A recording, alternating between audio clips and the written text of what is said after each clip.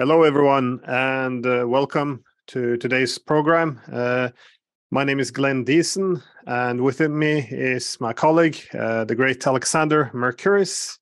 And our guest today is none other than Noam Chomsky.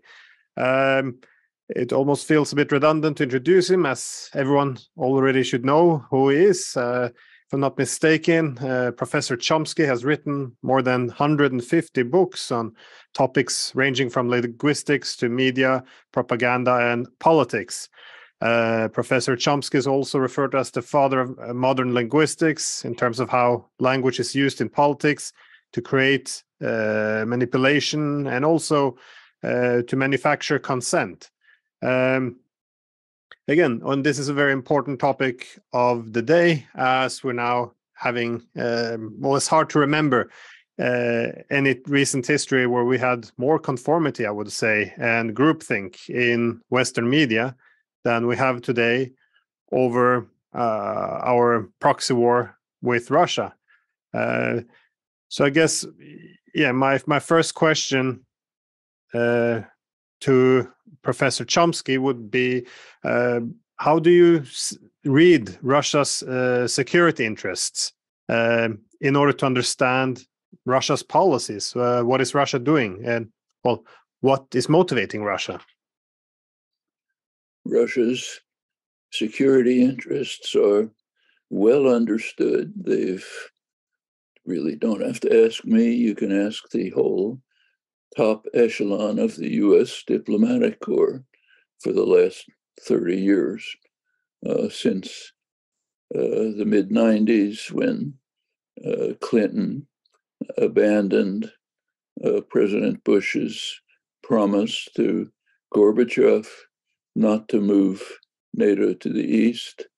Uh, the leading figures in the diplomatic corps in the policy sciences have been pointing out uh, repeatedly that and uh, energetically that uh, this very seriously threatens Russian security interests, and particularly uh, if it moves to what every Russian leader from Gorbachev and Yeltsin up till today has identified as uh, unbreakable red lines. Georgia and Ukraine for pretty obvious reasons. If you look at a map and you look at history, uh, they were willing to tolerate uh, incorporation of the Baltic states, the Visegrad states, but not Ukraine and Georgia. That's been made clear by Reagan's ambassador, Jack Matlock, uh, George W. Bush's hawkish Secretary of State, Robert Gates, uh, current uh, uh, head of the CIA, William Burns, another Russia specialist, and a whole stream of them have been pointing out that this is reckless, provocative. It's uh, breaking into essential security interests of the United States of Russia, and the same is true of the dismantling of the uh, arms control agreements started by George W. Bush and extended by Trump, uh, which uh, all of which severely threaten Russia, has been pointed out. That means placing uh, weapons uh, on Russia's border, which either are or can easily be converted to offensive weapons. Uh, the ABM treaty, which George W. Bush dismantled, enabled the United States to place close to the Russian border facilities that can easily be, uh, they're called defensive, but they can easily be uh, modified to include offensive weapons aimed at the Russian heartland. Uh, Trump's dismantling of the Reagan Gorbachev INF treaty means that short range missiles can be placed on the Russian border with a few minutes flight time to Moscow. Um, it's all pretty obvious. Nobody really has any doubts about it. So the security interests are quite plain. And of course, if you look at it from the Russian point of view, which which makes sense, you can hate them and despise them or whatever you like. But if you want to understand them, have to look at their point of view. For German Leopard tanks to be placed in Ukraine awakens some memories. Wasn't that long ago that German forces going through Ukraine to an open plain right up to Moscow and what was then Leningrad practically destroyed Russia. And it wasn't the first time. It was actually the third time in the century, counting the uh, Western intervention after 1918. Uh, so, I mean, if you want to, you can't really compare it with the United States because the United States has been immense, overwhelmingly secure. It's never had any threats. But if you can imagine uh, a Chinese uh, organized uh, aggressive military alliance uh, bringing uh, Mexico into it and placing advanced weapons on the US Mexican border aimed at the United States. That's without any history of Mexico being the path to destroy the United States. But Mexico would simply be blown away if that happened. And uh, well, I think one of the main things that have characterized this war is how it's continuing to escalate. Uh, in the beginning, uh, I remember the Germans sending a few helmets, and now, of course, we have German tanks being sent to kill Russians. Uh, but of course, also on the American side, there's been um, a lot of uh, uh, a lot of uh, escalation, and we're now sending unprecedented amount of weapons. I was just wondering, with this continued escalation and neither side ready to step back uh, uh, in this conflict between NATO and Russia over Ukraine. Uh, are we heading towards a nuclear war? Uh, is is this likely? Can it be avoided? How how do you read the situation? If we're if there's any possibility that we're heading towards a nuclear war, we might as well just say goodbye. It was nice knowing you. A nuclear war, there's a lot of loose talk about it uh, depressingly, uh, any person who has any understanding of the uh, conditions for nuclear conflict, certainly any strategic analyst, knows that there's no such thing as a limited nuclear war between major powers. Uh, you move right up the escalation ladder to essentially termination. So, talk about a possible nuclear war is uh, extremely dangerous. And notice that almost all the talk is coming from the West. Uh, Russia saying almost nothing about it. Uh, occasionally, a Russian repeats standard nuclear policy of all states. All states say that if our existence is threatened, we'll resort to the ultimate weapons. That's everybody's policy. Actually, the U.S. goes beyond that and uh, says that preemption is possible. But uh, the, uh, so far, I should say that the Biden administration, probably under Pentagon influence, has been trying to limit the escalation by keeping weapons uh, as much as possible uh, towards defense rather than expansion. Uh, Zelensky wants much more expansive weapons. Just yesterday, he, in the British Parliament, he called for fighter planes, uh, which uh, fighter planes would enable Ukraine to attack Russian territory. And uh, the people who are talking about this and advocating it in the United States too, he got notice thunderous applause in the British Parliament when he called for sending, asking for British fighter planes to be sent which is technically rather difficult since you have to train pilots and so on and so forth. But the thunderous applause says, let's try a gamble with the fate of, fate of Ukraine and the fate of the world.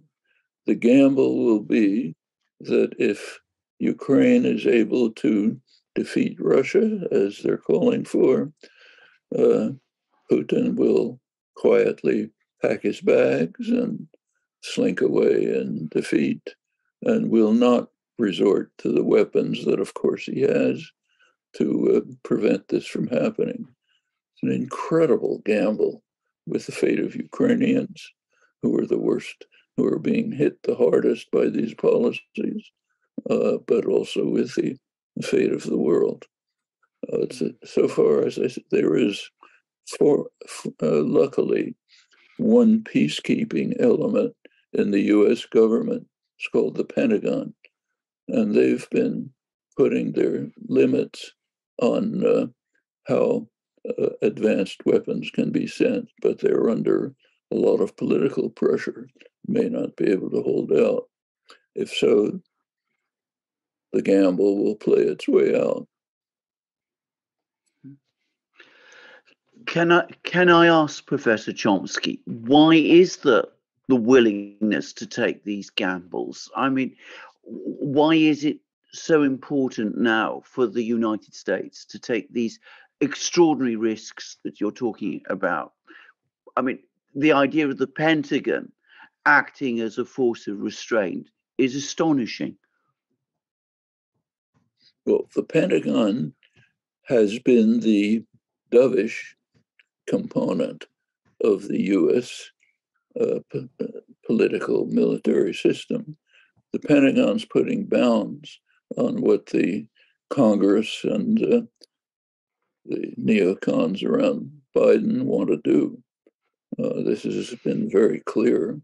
Uh, it was recently made even more clear when the chairman of the Joint Chiefs, uh, General Milley, a couple of weeks ago, uh, suggested that uh, it's time for the war to be ended before it gets worse. We must move to some form of diplomatic negotiated settlement. That's the chairman of the joint chair of the Joint Chiefs. If anyone in the civilian uh, sector says that, they get vilified and demonized. So, Cong- the Progressive Caucus in Congress uh, proposed a very mild resolution. It was so mild as to be embarrassing, suggesting that maybe we should think about diplomacy. Within one day, the attacks were so vicious uh, that they had to withdraw it. Uh, even Henry Kissinger, not known as a dove exactly, even he gets demonized and vilified if he dares to say what the almost the entire world is calling for. Uh, let's move towards diplomacy and negotiations instead of escalating the horrors. But when the chairman of the Joint Chiefs says it, he's immune. And kind of interestingly, in the main establishment journal, Foreign Affairs, there have been articles by uh, highly respected uh, uh, civilian uh, policy experts calling for uh, some moving towards uh, diplomacy and negotiations. And they get away with it there. But if anyone outside those uh, narrow circles says it, it's just a wave of denunciation, even worse in England, somewhat mixed on the continent. Uh, well, uh, you, the I mean, you can understand the U.S. position in a way. The U.S. is gaining enormously from the war. Uh, Europe is being badly hit. Europe is harmed by the sanctions much more than Russia is. In fact, the whole uh, German based industrial system, sophisticated, complicated system, which has been the core of uh, the most successful economic system in the world, has been the core of European development. It's now threatened, seriously, even threatened by possible deindustrialization. The, uh, Europe is being hit quite hard. Uh, the Russia, of course, Ukraine is being devastated. U- Russia is suffering severely, not so much economically, they have ways around it, but uh, tens, if not hundreds of thousands of casualties uh, the United States is degrading. Many commentators have pointed out that for the United States, it's a bargain at a small fraction of the military budget. They're able to degrade and destroy a large part of the military forces of their major military adversary in the world. That's a bargain. Uh, furthermore, geopolitically, uh, Putin's criminal invasion of Ukraine gave the United States a gift on a silver platter. It, it drove Europe into Washington's pocket. That's been an issue way back to 1945. One of the major issues in the Cold War, all the way through, has been whether Europe would move on an independent path, whether it would become a third force, as it was called, in international affairs. Certainly, Europe's capable of that. Enormous economy, sophisticated, advanced culture, advanced technology. Uh, uh, will they follow the policies of de Gaulle, Europe from the Atlantic to the Willy Brandt's Ostpolitik, uh, Mikhail Gorbachev's Common European Home from Lisbon to Vladivostok. It's always been a possibility. Putin killed it, at least temporarily, by driving Europe into Washington's pocket. It's a wonderful gift to the United States, in the short term at least, as long as Europe is willing to suffer the effects of hanging on to Washington's coattails. May not. It's a bitter fate. Of course, for the rest of the world, it's even worse. Almost the entire world is calling for negotiations and diplomacy. India, Indonesia, Brazil, now under the new government, uh, the entire global south, uh, the United States and Britain, the traditional warrior states, they're pressing to continue the war. In fact, official US policy remains to fight the war to severely weaken Russia, their adversary on the international scene.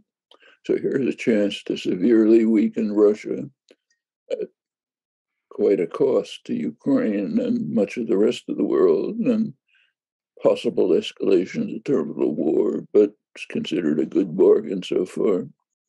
We have, uh, since the United States is uh, uh doesn't is not considering diplomacy and negotiations. The media do not cover these issues. They loyally keep to state policy. So we really don't know a great deal about the prospects for negotiations. But a good deal of material has leaked out, partly from Ukrainian sources, partly from others. Most recently, a couple of days ago, from Israel, where former Prime Minister Naftali Bennett uh, described his efforts to mediate, which were stopped by the United States. Uh, we know that we have pretty good evidence that last March there were negotiations underway under Turkish auspices. Uh, we know that British part, then Prime Minister Boris Johnson flew to Kiev and uh, informed the Ukrainians that the US and Britain are not in favor of this. It was followed by Defense Secretary Lloyd Austin, who presumably gave his standard message that the war must continue to weaken Russia. Anyway, the negotiations collapsed. We, since there's almost no coverage, we don't know much about the reasons, uh, but this has been repeatedly possible maybe, you know, as Bennett said, uh, the only way to find out is to try. Can't can't learn anything about it unless you try. Well, mm. there are pressures all over the world to try, whether the United and also within Europe because they are suffering. Uh, but uh, United States and Britain so far are pretty adamant except for the military, like General Milley. Uh, hmm. So that's about all we know at the present. Hmm. Well, I was I was curious how we can how we can understand uh, the role of the media because uh, um, obviously we we will be censored most of the Russian media, but also in this well across the West, there's no uh, discussion about the background of the conflict. There's no there's, there's no discussion about how to end the conflict, and as you pointed out uh, as well, it's already proven that uh, that uh, a lot of NATO countries sabotaged the Minsk agreement for seven years, and after Russia invaded, uh, the Israelis attempted to negotiate, as you said, and they've already confirmed that the West uh, essentially sabotaged this and prevented it. And then the Turks were gonna uh, negotiate a peace, and now the foreign minister of Turkey has also said that the West uh, sabotaged it because they wanted to fight Russia some more. But th these are now, in my opinion, established facts. It's how how can we explain the Western media coverage because uh, this uh, these facts never occur in the media. Instead, we're always told this was unprovoked, and we only want to help Ukraine by giving it weapons. Uh, uh, as an expert on propaganda, do you see this as a propaganda, or is it something else? That term "unprovoked" is quite interesting. If you do, uh, the term "unprovoked aggression" has never been used in the past, almost never. In the case of Ukraine, every reference to the Russian invasion has to be called the unprovoked Russian invasion. Take a look, do a Google search for unprovoked invasion. You get a couple of million hits for unprovoked invasion of, Iraq, of Ukraine. Try to find unprovoked invasion of Iraq. Maybe 10 people who wrote a letter to the Washington Post sometime. In fact, it's never been used before. And any psychologist can explain exactly what's going on. The reason for insisting on calling it the unprovoked invasion is you know perfectly well that it was provoked. In fact, there are extensive provocations going back to the 1990s. As I said, that's not my opinion, it's the opinion of almost the whole top level of the US diplomatic uh, echelon. Uh, anybody with eyes open can see it. And it's hawks, doves, everyone who knows anything about it. Of course, it was provoked. Provoked doesn't mean justified, that's separate, but it's obviously provoked. On the other hand, the US invasion of Iraq, which was much worse than the Russian invasion of Ukraine, though you're not allowed to say that, it was completely unprovoked. There was no provocation for the US British invasion of Iraq. Plenty of provocation for Russia's invasion of Ukraine. They are both cases of criminal aggression. That's independent of the provocation. But it's very interesting, tells you a lot about propaganda to see the way the phrase unprovoked invasion has been become not only popular but almost essential in the last a year or two. You have to call it that, even though everyone knows it's total nonsense. It's a way of trying to emphasize, try to get people not to pay attention to what's obvious. In fact, the propaganda on this is quite sophisticated. Let's take another example. Uh, take the sabotage of the Nord Stream pipeline. Spin. It was immediately blamed on the Russians which is almost inconceivable. Why on earth should the Russians sabotage um, their own major capital investment? And for what possible purpose?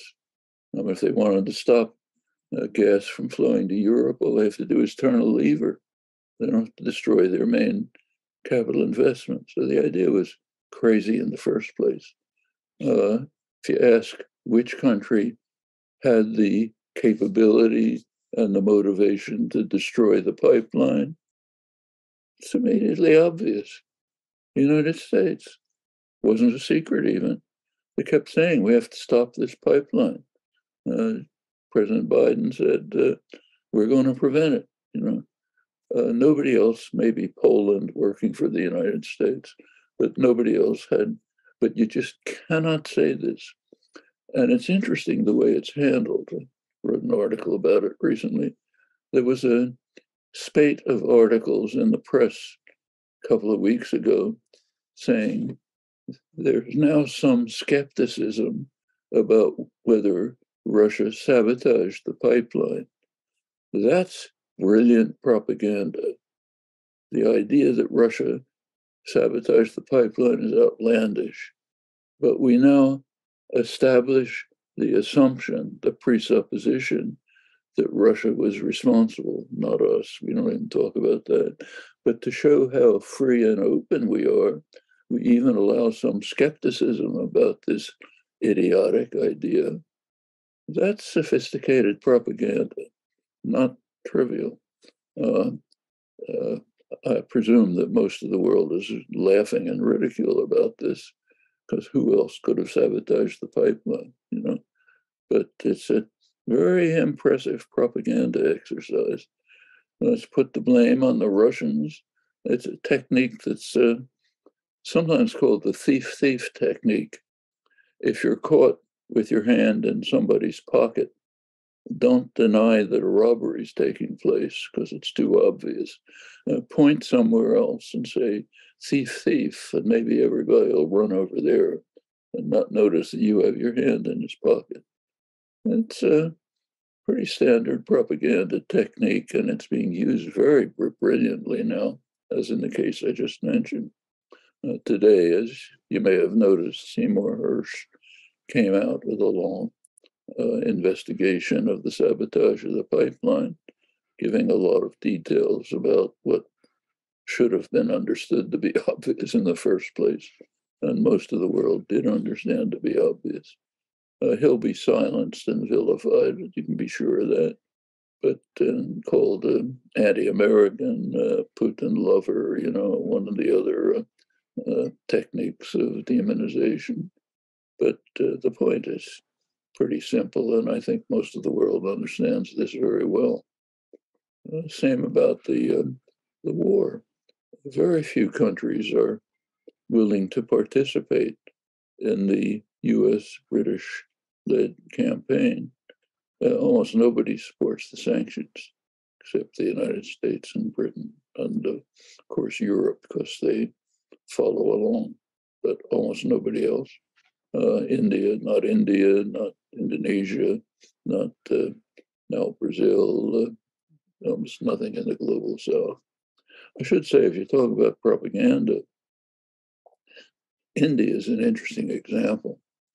Uh, you may recall that a couple of months ago there was a lot of euphoria in the Western press, US, British press, about the fact, the idea that India was now separating itself from uh, Russia and criticizing the Russian uh, invasion.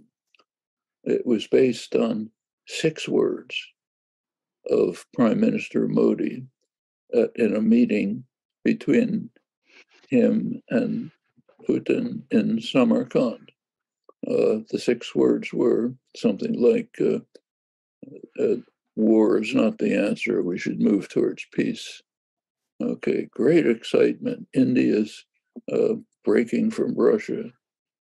Take two minutes on the internet and look up the Indian government official website where you get Modi's speech. It's a love letter to Putin. He starts by saying, War is not the answer. We need peace, but our relations are closer than ever. We're going to work together to lead to a much better world, and on and on. All of that was cut out in the Western commentary just the first six words falsified. It can't be by accident. Nobody's. I mean, this is just moderately sophisticated propaganda, assuming that nobody's going to take the trouble to look up the Indian government website. No journalists, nobody, nobody else.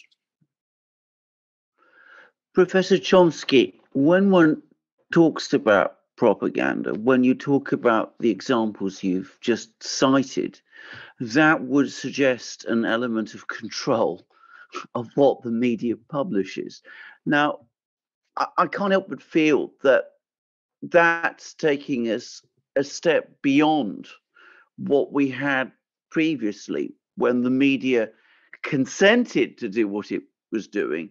Now it looks as if, from what you say, it might be beyond that, that there's some degree of direction of what it says. See if I understood. Stronger than the past? No. It's weaker than in the past. And the reason, if you go back to the 1960s, 1970s, 80s, was much worse, incomparably worse. I've written thousands of pages about this. It's actually better now.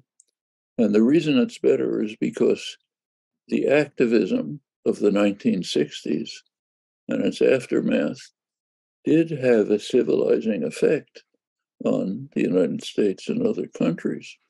That's why it's called the time of troubles, terrible time, because it civilized the societies. That's very dangerous. A lot of the journalists who are now writing have that background. They came out of that experience. Their minds were somewhat opened. So there's more, somewhat more critical discussion now than there was in the years in the, in the past, even in the mainstream. It's pretty bad now, but we forget how incredibly awful it was then. I mean, take the Vietnam War. We're now coming to the, it's the worst crime after the Second World War. There's nothing to compare with it. Uh, three pure aggression, three countries destroyed, millions of people killed vast devastation, people still dying from chemical weapons. There's just nothing to compare with it. To this day, in the mainstream in the United States, you cannot call it a crime of aggression. All you can say is it was a mistake. We didn't use our power wide, wisely. Our at the left end of the spectrum, our bungling efforts to do good didn't work. In fact, the war is framed. You'll see this on the anniversary when there will be a lot of discussion.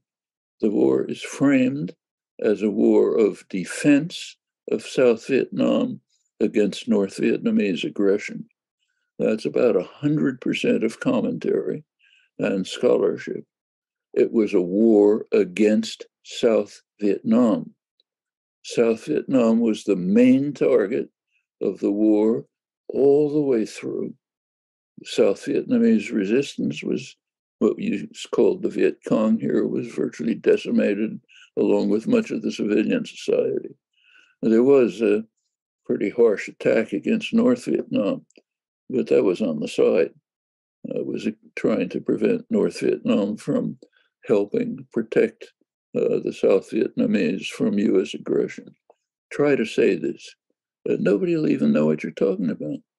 I mean, it's just not English. It's some Martian or something.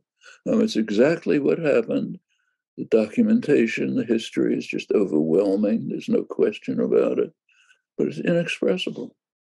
Uh, now, the Iraq War, we're now coming to the 20th anniversary. We'll hear the same. I mean, that's only 20 years, but it's the same. The word, the most critical comment you can make about the Iraq War is it was a mistake. Uh, it was uh, an effort to, yesterday in the New York Times, it was an effort to protect Iraq and the world from a uh, mad dictator, uh, but it didn't work. It's ridiculous.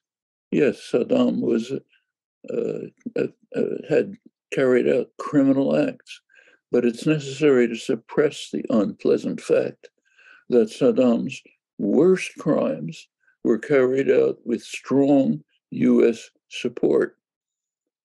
His worst crimes were in the 1980s chemical warfare, Halabja, all the things he's condemned for The United States strongly supported them. Go back and take a look. It wasn't secret.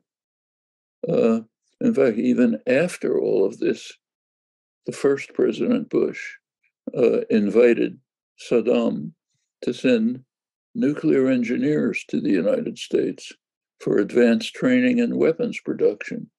That was after his worst crimes, off the record. Uh, there's now, in the newspaper today, you can read articles blaming Putin for the Malaysian airliner. Probably tomorrow they'll blame him for the Turkish Syrian earthquake. But whatever the truth of this, is it the first time an airliner's been blown up? What about the USS Vincennes, which attacked a, an Iranian commercial airliner in commercial airspace? No ambiguity, shot it down, killed 290 people, went back to its base in Virginia, where it was celebrated, uh, given a medal. The commander and the flight officer who shot it down were given medals of honor. Uh, President Bush said, I will never apologize for the United States. What about that? What happened to that? It was a pretty serious incident, Con- quite apart from the atrocity. It convinced Iran that there's no hope of their prevailing in the Iraq Iran war. Iraq invaded Iran with US support, uh, murderous, hundreds of thousands of killed with chemical weapons, all supported by the United States.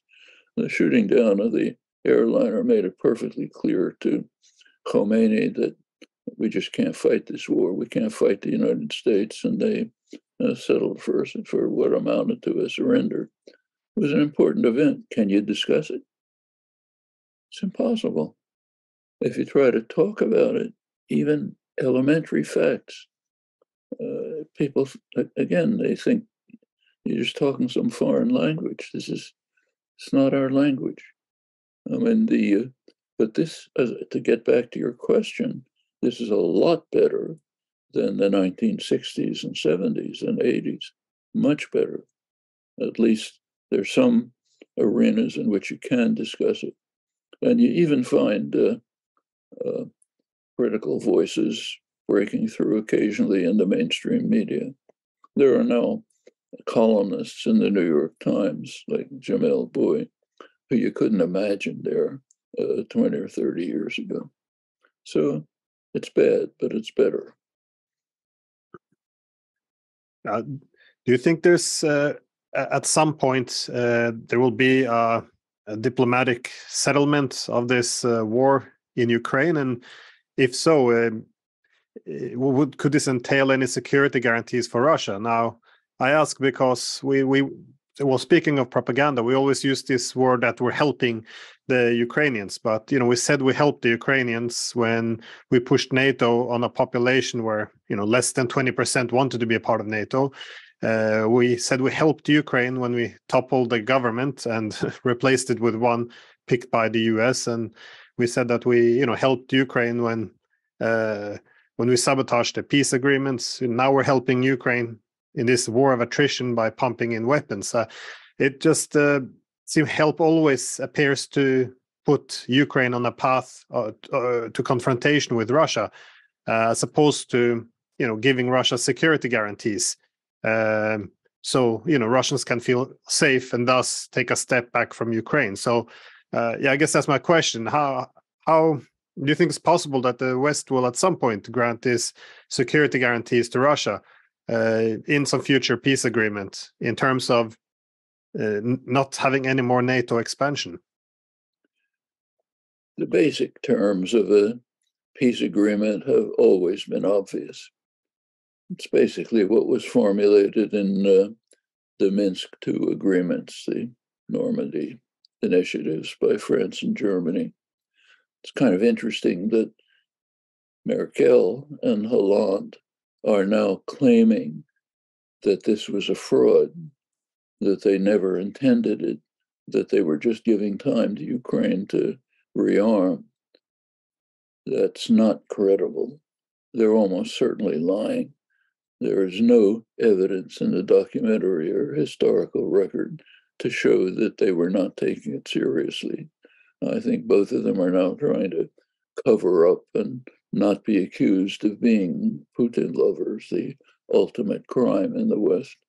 But the fact is that the Minsk proposals are pretty much along the lines of what you suggested. Ukraine should be neutralized, should have a status like Mexico or like uh, Austria during the Cold War. No infringement on sovereignty, but neutralized. And with regard to the Donbass region, the Minsk proposals would, were that they should be incorporated within Ukraine, but given substantial autonomy. Now, whether that's still question of Crimea is uh, off, off the discussion for the moment. Actually, as recently as last March, uh, Zelensky made similar proposals. Uh, it's not unimaginable. I mean, now they reject it, but uh, that's recent. As the war escalates, positions harden naturally. That's part of the natural dynamic. But uh, is it possible to move towards something like that? Yes. Uh, there will have to be security guarantees for Ukraine. Now, that can be given out. I mean, first of all, I don't even think they're necessary, but if you think they're necessary, they can be given. Uh, the West can make strong commitments to protect Ukraine against any future Russian aggression if it is neutralized. And there's no reason to expect any Russian aggression after that. Uh, you have to take a look at uh, uh, Western propaganda on this issue here, too. It's quite interesting to take a look at uh, Sweden and Finland, which is an interesting case, now applied for membership in NATO. Uh, there's a concept that uh, George Orwell defined. He called it double think. It's the ability to have two ideas in mind which are completely contradictory and to believe both of them. Uh, he thought it was a property of totalitarian states. It was wrong. Standard in the West. Uh, Sweden, Finland, and most of the West are perfect examples of this. On the one hand, they're gloating over the demonstration of Russian military incompetence. They weren't even able to conquer towns 20 kilometers from the border, defended by a mostly citizens' army. It shows that our belief that they had a strong military was completely wrong. It's corrupt, they don't know what they're doing, and so on. It's wonderful. Look how weak they are. That's one idea. The other idea is they're about to conquer the West. We're just on the verge of destruction from uh, the uh, uh, Russian monster, which is about to conquer everything. Well, that's Sweden and Finland. Swedish, I mean, I've had talks in Sweden and Finland. Strategic analysts and other uh, people with their brains functioning know that there isn't the slightest threat, remotest threat from Russia to either Sweden or Finland, not even remote. It's never been hinted at, and there's no capability of it. But they also know something else. Sweden and Finland have already been pretty much integrated into NATO, not formally, but in practice, uh, joint military operations and so on. If they join NATO, it's a wonderful opportunity for the quite advanced military systems of Sweden and Finland. They'll have new markets, they'll have interoperability of technology, great for their military industry. So let's join NATO on the pretense that Peter the Great is coming to destroy us. This is pretty effective propaganda. And in fact, a lot of the population probably believes it. It's kind of interesting to notice that how desperate Western propaganda is to find some indication of Russian intentions to do what they are totally incapable of doing. So if Putin makes a speech in which he mentions Peter the Great, a whole bunch of columns immediately appear. Look, he's saying he wants to conquer the West. We've got to have a bigger military. I mean, actually, France and Germany outspend Russia in military expenditures, let alone the United States and Britain. Uh, but uh, this goes way back. You can go back to the early days of the Cold War uh, when 1950, uh, 51, when the United States was concocting some image of uh, what they call the Kremlin slave state, which is by its very nature inherent, has to extend its domination over the entire world. It's part of its intrinsic nature. There's nothing you can do about it. So we have to have a huge military to overcome it. Uh, when Stalin offered in 1952 to allow a unified Germany uh, with one condition not join a hostile military alliance.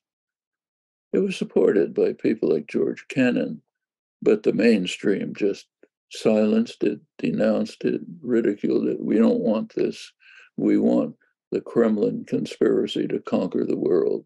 That way, we can build up a huge rearmament program, uh, uh, stimulate our economies, uh, overcome the so called dollar gap, the inability of Europe to purchase US uh, uh, exports. Uh, that's what lies behind it. But we have to have this Russian demon conquering the world. Now it's a Chinese demon. We have to surround China with military bases, encircle them go to war to pretend pretend protect, prevent China from developing uh, economically because otherwise they're going to conquer us. I mean, it it's just goes. You can carry it back to the Declaration of Independence if you like. Read the Declaration of Independence. Uh, one of the condemnations of King George III, I'm quoting, he unleashed against us the merciless Indian savages. Is that what happened? It was the merciless English savages who were attacking the native population. But no, we were innocent, uh, just living in peace, and suddenly these merciless Indian savages attacked us on the command of George III. Everyone intones that piously every July 4th. It's only 250 years, you know. And we're breaking no new ground.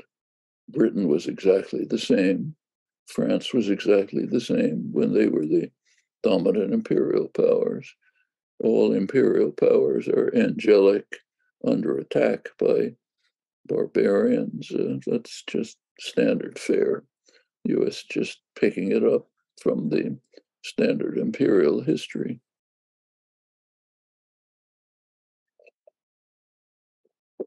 Well, yeah, you, oh, sorry. Yeah, you, yeah, you mentioned China, and uh, of course, the United States has two key adversaries now, which is both uh, yeah, Moscow and Beijing. Um, the, the, the objectives towards Russia seems kind of clear. It's been the same for quite some time, but uh, uh, what are the objectives towards China? Um, uh, what uh, what, does the United States uh, seek to obtain? Uh, uh, given it, it appears that over the past few years, uh, the United States has been chipping away at this one China policy by you know sending military advisor, kind of slowly scrapping away any pretense of it being part of China.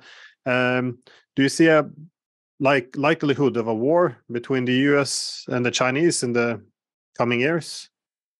There's a lot of talk about that. One high U.S. military official just a couple of days ago saying he predicts a war with China by 2025. This is pure insanity.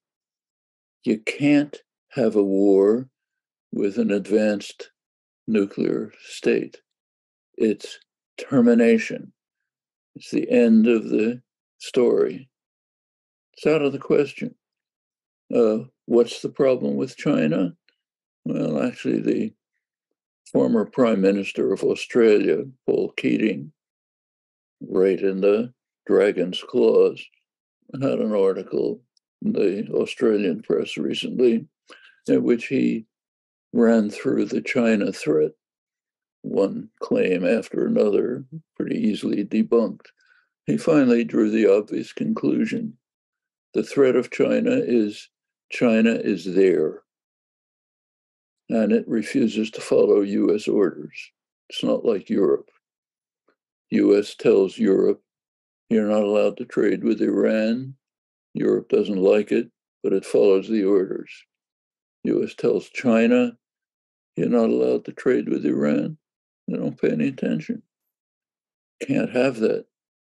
You can't have a major country that doesn't follow orders. That's an intolerable threat. Uh, international affairs is pretty much like the mafia. Uh, the Godfather does not accept disobe- disobedience. It's too dangerous. Even disobedience from a small shopkeeper is dangerous because others may follow the example. But a major disobedience, like another, someone else trying to be the Godfather, can't have that. And that's pretty much the basic principle of international affairs. As I say, US didn't invent it. It's mm. just taking it over from imperial history. China's threat is there are lots of things China's doing that are wrong, even violation of international law, but that's not a threat. The threat is simply they are there, they do not follow orders, they follow their own path, they're developing much of Eurasia through the Belt and Road Initiative. This is expanding to uh, Southeast Asia, to Africa, to Latin America, even. That's intolerable. Well, can't stop it with bombs, so let's try to stop it some other way by preventing their economic development. Uh, it's a long story, but it's very dangerous. Yeah, Noam Chomsky, thank you very much for taking this time. Uh, we do appreciate it. Thank you indeed. Thank you indeed. Thank you very much.